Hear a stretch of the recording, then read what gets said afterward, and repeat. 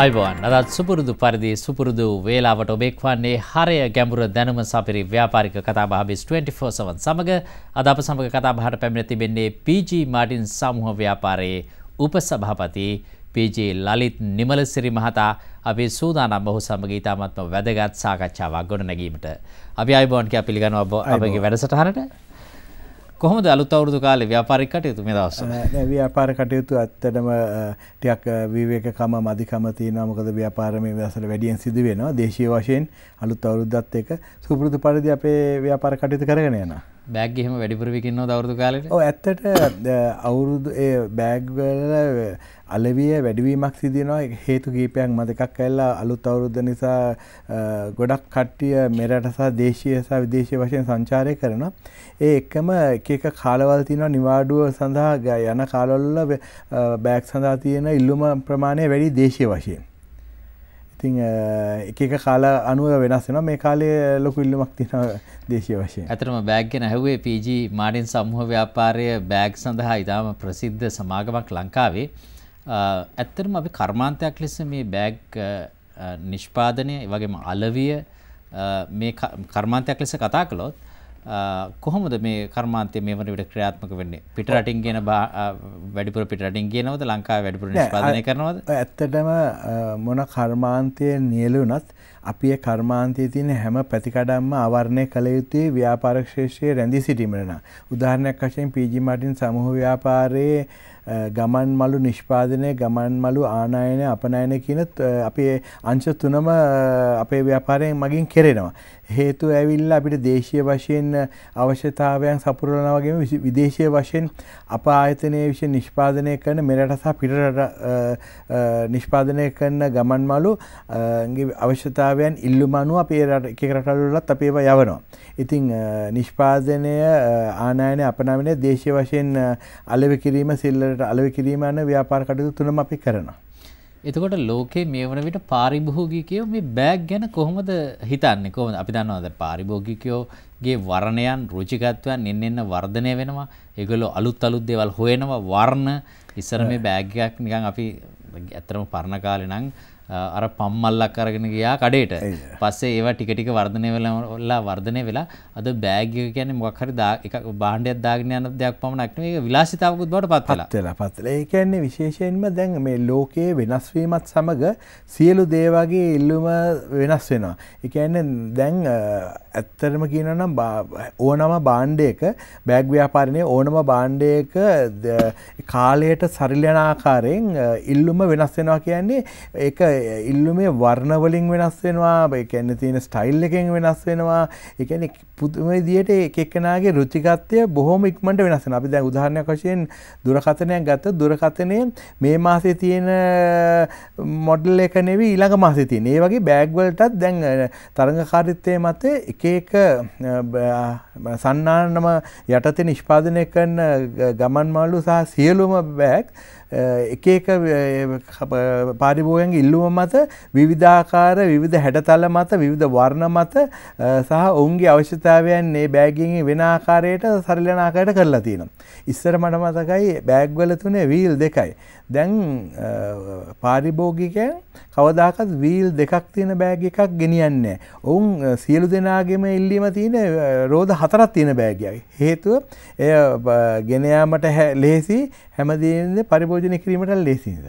එතකොට අපි මතක අපි පොඩි කාලේ පාසල් යනකොට සූට් කේස් අරගෙන ගියා. එහෙම යුගයකුත් තිබුණා. හැබැයි දැන් දැන් අපි දැකලා තිබෙනවා මේ කොළඹ පාසල් වල ළමයි පවා ওই වීල් තියෙන බෑගුත් අරගෙන මේ පාරේ යදගෙන යනවා මට එයාපෝට් එකකින් පිටරට යනවා වගේ. මොකද ඒ කියන්නේ පහසු දැන් ඉස්සර තිබුච්ච පාසලකට ගෙනියන්න ඕන පොත් ප්‍රමාණයට වඩා පොත් ප්‍රමාණයක් දැන් තියෙනවා. ඒ මත ළමයිට නිතරම එහාට මෙහාට ගෙනීමේ පහසුව මත නිෂ්පාදන වෙළඳපොළට හඳුන්වා දුන්න දෙයක් තමයි ওই වීල් එක දාලා බෑග් එක.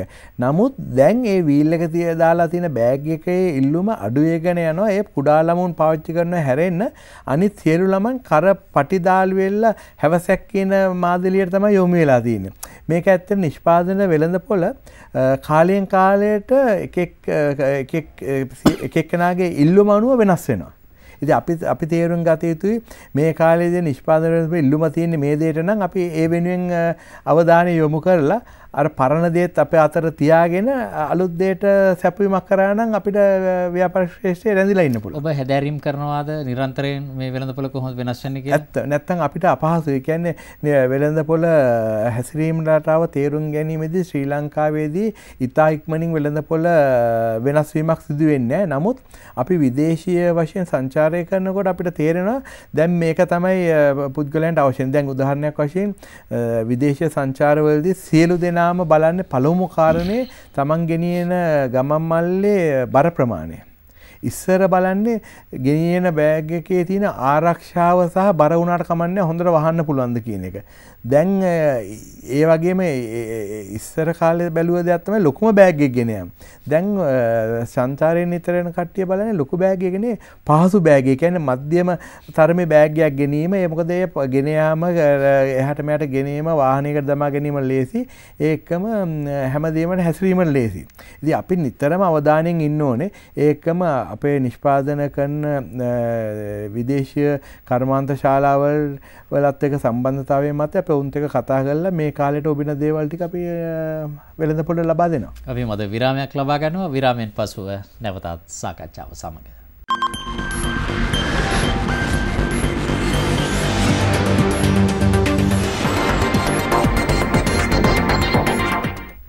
විරාමෙන් පසුව නැවතත් එක්වන්නේ හරය ගැඹුරු දැනුම සපිරි ව්‍යාපාරික කතාබහ බිස් 24 සවන් සමග අද අප සමග කතාබහේ සිටින්නේ PG මාටින් සමූහ ව්‍යාපාරයේ උපසභාපති PG ලලිත් නිමලසිරි මහතා අපි කතා කරමින් සිටින්නේ බෑග් කර්මාන්තයේ වගේම අපි බලාපොරොත්තු වෙනවා ප්‍රවාහන අංශය පිළිබඳවත් ඒ PG මාටින් සමූහ ව්‍යාපාරයේ නිරත වන කතාබහ කිරීමට. එතකොට දැන් ලෝකයේ මේ බෑග් කර්මාන්තයේ චීනයද ප්‍රබලය බවට පත්වල තිබෙන. ඔව නෑ දැන් අපේ බෑග් කර්මාන්තය ගත රටවල් කීපයක් බෑග් කර්මාන්තය නීල්ලා සිටිනවා. ලෝක ආර්ථිකයෙන් චීනය ඇත්තට එවෙනින් ලොකු දෙයක් ඔවුන් කරන ආර්ථිකයෙන් යම් කිසි මට්ටමකින් ප්‍රතිශතයක් ඔවුන් රඳවා පවත්තාගෙන තියෙනවානේ. චීනයේදී නිෂ්පාදනය වෙන බාණ්ඩවල මිලත් එක්ක සංසාධනය කරන වෙන රටල්වල කර නිෂ්පාදනය කරන බාණ්ඩත් එක්ක චීනයේ බාණ්ඩවල මිල වෙන රටවල බාණ්ඩවලට මිල අපිට ගෙන්නා ගැනීම සඳහා අඩු අඩුයි. ඒ වගේම අපිට චීනයත් එක්ක ගණුදන කිරීමේදී ඔවුන් අපේ අවශ්‍යතාවයන් සියලු දේවල්. ද උදාහරණයක් වශයෙන් අපේ ආයතනයේ මොන දේ පාරිභෝගයන්ට ලබා දුන්නත් අපි ස්තරම්ම භාණ්ඩය තමයි ලබා දෙන්නේ. ජනයා අතර පාරිභෝගය අතර පොඩි මතයක් තියෙනවා PG මාටින් සමූහ ව්‍යාපාරයේ වෙළඳසැල්වල තියෙන ගමන් මළුව ඉතා මිල අධිකයි කියලා. මිල අධිකයි කියන්න හේතුව අපි යොදවන්නේ සියලුම දේවල් දීර්ඝකාලීන වශයෙන් සහ පැවැත්මට ලක්වන බාණ්ඩ. ඉතින් අපේ ආයතනයට ගෙන්වන සියලු දේවල් මිල අධිකයි. නමුත් කල් පැවැත්ම වෙන බාණ්ඩත් එක්ක සංසන්දනය කිරීමේදී දීර්ඝ කාලයක් පාවිච්චි කළ හැකියි. ඒ වගේම ඔබලා ප්‍රවාහන ව්‍යාපාරික කටයුත්තකත් නිරත වෙලා තිබෙනවා. ඔව් ප්‍රවාහනක ව්‍යාපාරය අපි දැන් ඇත්තට වසර 12කට 15ක් අතර රැඳී සිටින්න ඉන්නවා. දේශීය සහ විදේශීය වශයෙන් ප්‍රවාහන ශාස්ත්‍රයේ එන කට්ටිය සඳහා අපි පාවිච්චි කරන ඒ වගේම සේවය ලබා දෙනවා. දැන් මම කිව්වේ එකයි වෙළඳ පොළ ගැන කතා කරොත් ප්‍රවාහන ශාස්ත්‍රයට සම්බන්ධ වෙන්න හේතුව අප ආයතනයේ තියෙන කීර්තිනාමය සමග අප ආයතනයේ තියෙන විදේශීය සම්බන්ධතාව සමග විදේශීයයන් ගොඩක් කට්ටිය ලංකාවේ දැන් සංචාරය කරන්න එනවා මේ තියෙන වාතාවරණය අනුව. ඉතින් එන කට්ටියගෙන් සියලු දෙනාම බලන්නේ බොහොම ආරක්ෂාකාරී සුව පහසු ගමනක් යා හැකි ආයතනයක් තෝරා ගැනීමට. ඉතින් අපි වසර 15ක් පුරා මේ දේ කරන නිසා අපේ අත්දැකීමයි අපේ ශේෂ්ත්‍රයේ දුන්න සේවයයි මත ගොඩක් කට්ටිය කැමති වෙලා සියලුම වර්ගයේ වාහන අපායතනය සතුයි ඒකම ප්‍රවාණ ශේෂ්ත්‍රය අපේ නියලිලා ලොකු සේවයක් එවෙනින් අපි කරනවා. ඇතරම දැන් ඔබ හොඳ පුද්ගලයෙක් මේ ප්‍රශ්නය අහන්න. ඔබ මේ ශේෂ්ත්‍රයෙන් නිරත වෙලා සිටින නිසා ලංකාවේ මේ වන විට සංචාරක කර්මාන්තයේ වර්ධනය සමග අලුත් අලුත් ප්‍රවණතා ඒ වගේම සංචාරකයෝ එන්නේ මොන වගේ අයද? ඔවුන්ගේ වියදම් කිරීමේ රටාව, ඔවුන් මොන වගේ දේවල්ද බලාපොරොත්තු වෙන්නේ ලංකාවේ කියලා ප්‍රශ්නයක් අහනකොට මේ ප්‍රවාහන ශාස්ත්‍රය තුලින් ඔවුන්ගේ වර්ණයන් පිළිබඳව අපිට කතා කරන්න පුළුවන්. දැන් ලංකාවට මේ වන විට එන සංචාරකයෝ ඔවුන් ගොඩාක් සුඛභෝගී වාහනද හොයන්නේ එහෙම නැත්නම් සාමාන්‍ය වාහනද ඔවුන් මුදල් වියදම් කරන අඩුද ඉස්සරට වඩා කොහොමද තත්ත්වයවන්ගේ මෙතනදී මෙහෙමයි සිදුවන්නේ දැන්ලා සංචාරය කිරීමේදී එක ප්‍රතිශතයක් සියයට විසි පහක් තියක් අතර ප්‍රතිශතයක් ගත්තොත් ඔවුන් ඉතාම අඩු මුදලක් වියදම් කරන්නේ. ඔවුන් බලන්නේ පැකේජ්යකට පැමිල්ලයි පැකේජ් එක ඇතුළති ඉතාම අඩු මුදලින් ඔවුන්ගේ කාර්ය කරගන්න. ඒ අතර තව සීයට පණහක් පමණ පිරිසක් සංචාරකින් ඔවුන්ගේ බලන්නේ ඔවුන් එන දේ උපරිම පහසුකම් ඇටතේ පුළුවන් තරම් සැප පහසුවට වියදම් කරලා ඔවුන්ගේ ඔවුන්ගේ සැප පහසු බලාගෙන උපරිම සේවයක් ලබා ඉතින් අපි තේරුම් ගන්න ඕන ආයතනයක් වුණාම සංචාරකයන් ආවම ඔවුන්ගේ අවශ්‍යතාවය මොකක්ද කියන එක අපේ වටහා ගැනීම ඉව බව මත අපි තීරණය කළ උන්ට සේවය ලබා දෙන්න ඕනේ. උදාහරණයක් වශයෙන් මම එක උදාහරණයක් කියන්න ජපන් සංචාරකයෝ ළඟදී පිරිසක් සහ චීන සංචාරකයෝ පිරිසක් පැමිණිය. චීන සංචාරකයෝ සමස්තයක් වශයෙන් කතා කරනකොට වියදම් කිරීමේ ප්‍රමාණය අඩුයි. නමුත් ඔවුන්ලා පැමිණිය විසි දෙනයි. විසි දෙනක් පැමිණියාම අපෙන් ඔවුන් ඒ අපේ චීනය අපේ ආයතනයෙන් එහෙන් අපින් ඉල්ලීමක් කර විසි දෙනාට සරිලාන පනස් දෙනෙක යහකි බස්රථයක් සැපිය යුතුයි කියලා. මොකද විසි දෙනාට එකෙන් බලාපොරොත්තු වෙන්නේ ඔවුන්ගේ නිදහසේ ඇවිද ප්‍රද ලංකාවට සංචාරය කරන්න. ඉති ඒ වගේ මම වනත් බලන්න අපේ පහසුවනේ දැන් සමරක්ලාට දේශය වශයෙන් සංචාරය කරන අපි විදේශය පැත්ත කතා කරාවගේ දේශය වශයෙන් සංචාරය කරන බොහෝ පිරිසක් වියදම් කළ හැකි පිරිසක් ඔවුන් බලන්නේ ඔවුන්ට මොන වාහනය තිබුණත් මොන ජීප්‍රාතය තිබුණත් නෑ අපි කාගේ හරි සේවයක් ලබාගෙන නිදහසේ ගමන යුතුයි කියන එක. ඔවුන් ඒලාට මුදල බලන ප්‍රමාණය හරි අඩුයි.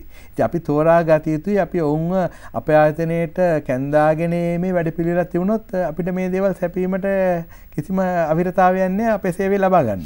එතකොට දැන් ලංකාවේ වාහන ප්‍රමාණය එන්න එන්නම් වැඩි වුණා පසුගිය කාලයේදී. ඒ කියන්නේ පුද්ගලික වාහන විශේෂයෙන් මෝටර රථ වගේ ඒවා. එතකොට දැන් ඔබ අවුරුදු ඔබ සඳහන් කළා මේ ව්‍යාපාරික කටයුත්ත වසර ගණනාවක් අවුරුදු 15කට ආසන කාලයක් කරනවා කියන කාරණය. එතකොට ව්‍යාපාරික වශයෙන් ඒ මෝටර් රථ මිලදී ගැනීම වාහන මිලදී ගැනීම වැඩිවීම ප්‍රවාහන ව්‍යාපාරික කටයුතු වලට කොහොමද බලපෑවේ පසුගිය අවුරුදු කිහිපය තුල? නෝ ඇත්තට අපේ අප අප රටේ තියෙන ප්‍රධාන ප්‍රශ්නයක් තමයි මෝටර් කියන්නේ අපේ ගෙන්නන වාහන ප්‍රමාණයට අනුව සරිලන පාරවල් නැතිවීම. ඉතින් ඇත්තට මාර්ග පද්ධතිය මේ හයිවේ කියන දේවල් ලබා දීලා ඒ දේවෙන් ලොකු වැඩ කොටසක් රජයක් වශයෙන් කළ යුතුයි. නමුත් පරණ වාහන අයින් කිරීමේ වැඩ පිළිවෙල අපරටට නෑ වෙන රටවල් වල වසර ගානයි පුළුවන් ඊට පස්සේ වාහන ටික අයින් කරනවා. අපේ රටේ වසර කීපයක් පරණ වාහන උනත් ධාවනයේ දී හැකිනේ. ඉතින් ඒ වගේ නීති රීති අපේ රටේ නැති නිසා තමයි ඔය ප්‍රශ්නෙට මුල පුරලා තියෙන්නේ. මං හිතන්නේ හරි මාර්ග පද්ධති ඉදිරියේදී හැදිලා වෙනකොට ඒ වගේම මිනිසුන්ගේ අවශ්‍යතාවයන්ට සරිලන පොදු ප්‍රවාහන සේවය හරියාකාරව තිබුණොත් මේ මාර්ග තදබදයට සෑහෙන ප්‍රමාණයකින් පිළියමක් එනවා. පොදු ප්‍රවාහන සේවය හරියාකාර තියෙනවා නම් විදේශ රටවල් වගේ අපි වුණත් අපේ ගමන පොදු ප්‍රවාහන සේවයෙන් ඇවිල්ලා ඒ දේ කරගන්න. නමුත් දැන් යන ආකාරයට පොදු ප්‍රවාහන සේවය ඊතරම් පහසු සහගත විදියට ලේසියෙන් ලබා ගැනීමට නොහැකි තත්ත්වයන් නැති නිසා කවුරුත් පොදු ප්‍රවාහන සේවය පාවිච්චි කරන්නේ නැහැ. පිට රටවල් වල කෝච්චියෙන් යනවා කියන එක සාමාන්‍ය දෙයක්. බස්සෙන් යනවා කියන එක සාමාන්‍ය දෙයක්. ලොකු ව්‍යාපාරික ලොකු පුද්ගල බස්සකින් කෝච්චෙන් යනවා. යනවා. ඉතින් දැන් අපේ රටේ දැන් ලොකු ලොකු පුද්ගලෙක් බස්ස එක ගියොත් ඒක නොකලට පුදුමයි. ඇත්තටම දැන් ඔබ සඳහන් කළා මේ චීන සංචාරක මුදල් වියදම් කරන එක අඩුයි කියලා ඇත්තටම අඩුයිද? නෑ චීන ඇත්තට ඉන්දියන් ඒක සාමාන්‍ය මතයක්. මතයක් කියන්නේ ඉන්දියන් සංචාරකයේ චීන සංචාරකයනේ මුදල් වියදම් කිරීම අඩුයි. ඉන්දියන් සංචාරකයන ගොඩාක් මුදල් වියදම් කිරීම අඩුයි. නමුත් ඉන්දිය සංචාරකෙත් ඉන්නවා මුදල ප්‍රශ්නයක් නැහැ සේවය ලබා ගැනීම සඳහා. ඉතින් අපි කල යුතුයි සංචාර සංචාරකයන්ගේ මුදල් ලබා ගැනීමේ වැඩ පිළිවෙලක් කර යුතුයි. මොන විය දැන් උදාහරණයක් වශයෙන් ඔබ සුපර්මාකට් එකට යන්නේ මොන හරි වෙන දෙයක් ලබා ගන්න. නමුත් ඔබ ලබා ගන්න යන දෙයට අමතරව අන්තිමයට බිල් කරනකොට ඔබට තව අපි ඕක ඇවිල්ලා ඒ කියන්නේ මේ ආකර්ෂණීය භාවයේ මත සහ තමන්ගේ හිත අද්දා ගැනීම මත වෙන දෙයක්නේ. ඉතින් මං හිතන්නේ අපි කරන්න ඕනේ වියදම් ගන්න නැති පුද්ගලයාට ලස්සන තැන් දීලා බලන්න දීලා දැන් වෙන රටකට ගියාම කොච්චර තැන් තියෙනවද? දැන් අපි සමහරත් දේවල් පර්සගේ සල්ලි ඇදල ගන්න හැකියාව අපි නිර්මාණය කර නිර්මාණය කරන අප හැබැයි පහසුකන්ට ලබා දෙන්න ඕන. අපේ මේ අපිට ලබාදීලා තියෙන සම්පත්තික හරියාකාරව අපි කළමනාකරණය කළත් මම මම ඊ මේ දැන් අද උදේ කතරගම සිට පැමිණියේ මගේ වැඩ වැඩ වගේකට ගිහිල්ලා කතරගම සිටම එන ගමන් මම දැක්කා නාම් පවුරකෝ හුම්මානේ තියෙනවා මං හිතුවා මගේ පුතා මේ උසස් අධ්‍යාපනය සඳහා විදේශගත වෙන හින්දා එයාට ආයෙ ඕක බලන්න වෙන්නේ නැහනේ කියලා මං හරවල අපේ අපේ ගියනකට ගිහිල්ලා බලමු කියලා. ඉතින් ඇත්තට ගියා ගිහලා වෙලා හරි ලස්සන පෙනෙන දේ හුම්මානය කියන එකේ පෙනෙන දේ මම පුතාටත් පෙන්නුවා. නමුත් එතනට යන්න තිබිච්ච අපහසුතාවය පාරවක්වත් හදලා නැහැ. එතන මං අහන්නේ අපි දැන් අපි දැක්කා වගේ යන එන කට්ටිය ওই පැත්තට ඇදලා යම්කිසි මුදලක් අය කරලා ඒ පහසුකම් දීලා කරා නම් කොච්චර මුදලක් අපිට මේ උපයා ගන්න පුළුවන්ද මේ සරල උදාහරණයක්. ඉතින් විදේශිකයෝ ආමත් ඔය වගේ තත්ත්වය තුන විදේශිකයෝ කියන්නේ නැහනේ. හුමානයක් බලන්න තියා මොන වැඩි මහල වයසට ගිහිපු ආබාධිත විසංචාරක කොහොට්ට කොහොම යන්න බෑ? මං කියන්නේ පහසුකම සලසලා දීලා. ඒගොල්ලන්ගේ පහසුකම් සලසලා බැලුවා නම් දවසට කී දෙනෙක් වේද ඒ වගේ මම මේ සුළු එකේ ওই වගේ රට වටේ තියෙන දේවල් වලට හරියාකාරව අපි කළමනා කරලා හරි දේවල් යෙදෙව්වොත් අපි ඇත්තට විදේශ විදේශ සංචාරයන්ගෙන් අපි ලොකු විදේශ විනිමයක් උපයා ගන්න පුළුවන් අපි මද විරාමයක් ලබා ගන්නවා විරාමෙන් පසුව නැවතත් සාකච්ඡාව සමග.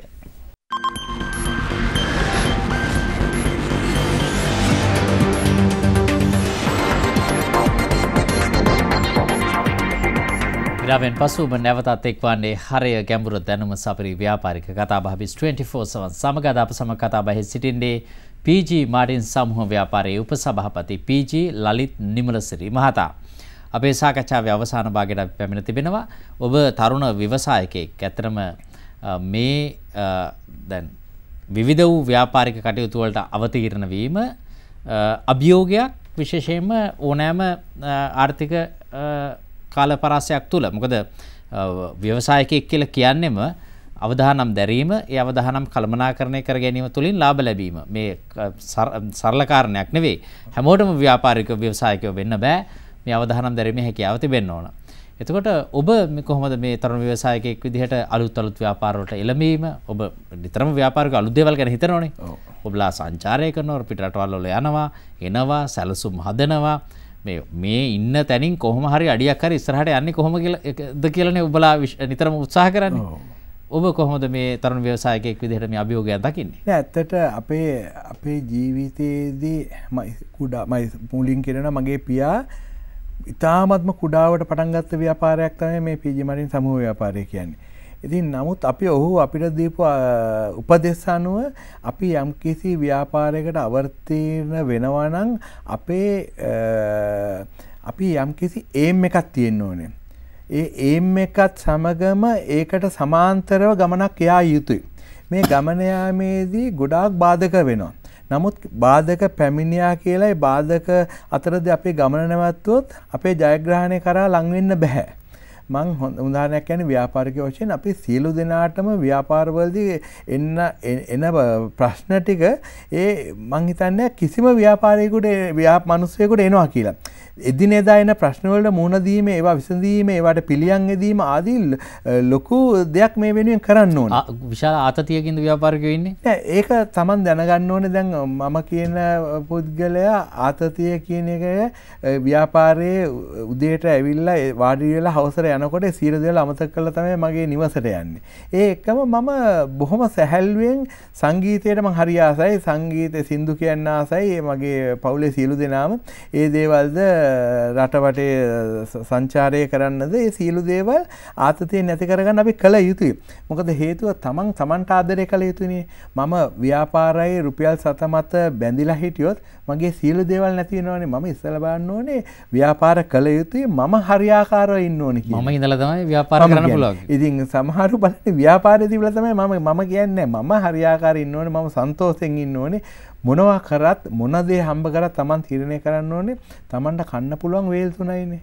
වැඩි මුණොත් වේල් හද දැන් නම් ඇත්තට වේල් දෙකක් තමයි ඕන මිනිස්සෙක් කන්න. අනිවාර්යයෙන්. අනිත් Tamanට කිසි දෙයක් ගෙනියන්නත් බෑ.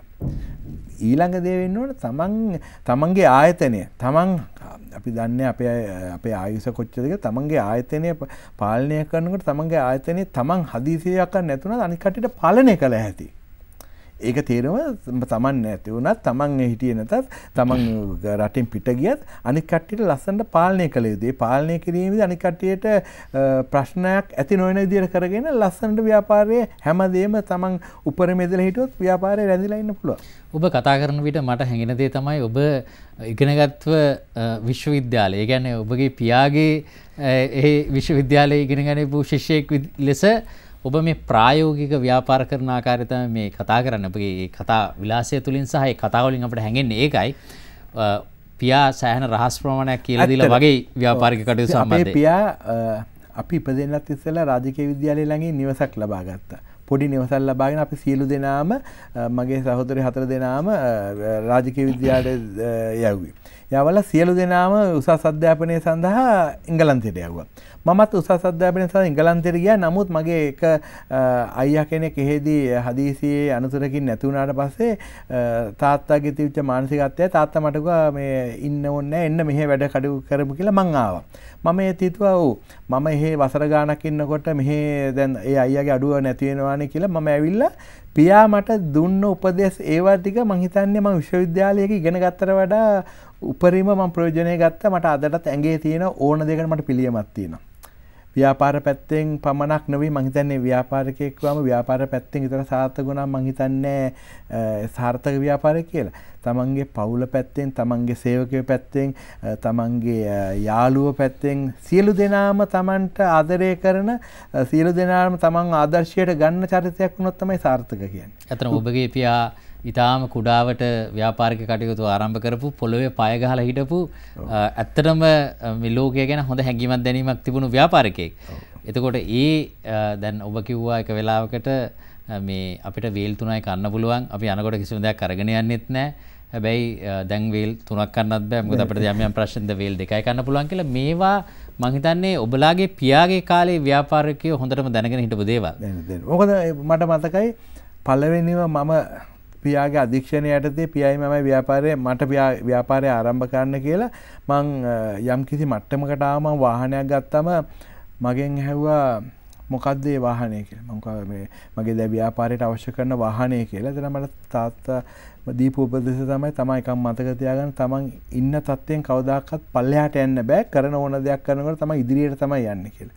මං හිතන්නේ ඒ ඉවදාන් අපේ තාත්තට තිබිට ගරුත්වය අදටත් අපේ තියෙනවා අපිට රැව් දෙනවා මතකයට රැව් දෙනවා මම හිතන්නේ උපදෙස් පිළිපැදපින්ද තමයි මේ ආකාරයට අනිත් පිළියෙලට යමක් කරන්න ඕනේ. මම කොණ්ඩේ හරියට පිළලා නැත්තම් මගේ පියා මේ ඒවට කැමති නෑ. අපි හරියට ඇන්දේ නැත්තම් කැමති නෑ. අපි ඉන්න තැන පිළිවෙලකට නැත්තම් කැමති නෑ. අපි ඒ අපි දේවල් ගොඩාක් ඉගෙන ගත්තා. දැන් අදටත් මං ව්‍යාපාර කරලා මගේ ඔෆිස් එකේ එනකොට මට පැය භාගයක් කරන ඔෆිස් එකේ මේසේ ලස්සනට හදලා පෑන තියලා පුටුව තියලා. ඒ විදිහට මමම කරලා එන්න ඕනේ මගේ ඇඟේ තියෙන නේද? පියා ඒව ඉගෙන ගත්තේ කොහෙන්ද නෑ එයාගේ පිළිවෙල කියන එක අපේ ජීවිතයේ ඇත්තට මම දැන් මගේ පුතාටත් මම නිතරම කියන්නේ දැන් වෛද්‍ය විද්‍යාලයට යන්න එයා තේරිලා යන්න ලෑස්තිලා තියෙන විදේශ වෛද්‍ය විද්‍යාලයකට මම කිව්වේ ඒව ඉගෙන ගත්තට මදි පුතා පුතා සාමාන්‍යයෙන් ජීවත් වෙන ආකාරයේ පිළිවෙල වෙන ආකාරය ඒවා උගන්වන්නේ ඒවා ඔයා ඉගෙන ගන්න ඕනේ. එහෙ ගියත් මට ඔයත් එක්ක කතා කරලා බලන්න පුළුවන් වෙනවා වගේ කාමරේ කොහොමද තියෙනවා කොහොමද ඉන්නේ කොන්න පිටලාද ඒ මං කිව්වා මම බලන්නේ මට ලැබිච්ච දේ මගේ පුතාටයි සමාජයට ලැබලා දෙන්න ඕනේ නේ. පරම්පරාවෙන් පරම්පරාවට මේවා ඇත්තට පොත්පත් වලින් නෙවෙයි ඇඟෙන්ම පැමිණිය යුතු දෙයක්. ඇතන අපි සතුරු වෙන ඔබ වගේ කෙනෙක් සමග සාකච්ඡා කිරීමට ලැබීම මොකද අපි අපේ රටේ ඊටාම කියන්නේ ඉතා ප්‍රබල ව්‍යාපාරිකයකු මතකයට නැගෙන ඔබ සම කතා කරන විට අපිට වෙලාව නෑ මේ වෙලාවේ ඔබට වැඩසටහන අවසන් කරන්න සිදු වෙනවා. අපි ඔබට බොහොම ස්තුතිවන්ත වෙනවා අපේ සාකච්ඡාවට පැමිණීම සම්බන්ධයෙන්. අපි අද සාකච්ඡා කළේ PG මාටින් සමූහ ව්‍යාපාරයේ උපසභාපති PG ලලිත් නිමලසිරි මහතා සමග අපි BIS 24 සවන් සාකච්ඡාවෙන් සමුගන්නවා. අපි අලිත් මෙවැනිම සාකච්ඡාවකින් හමු වෙමු.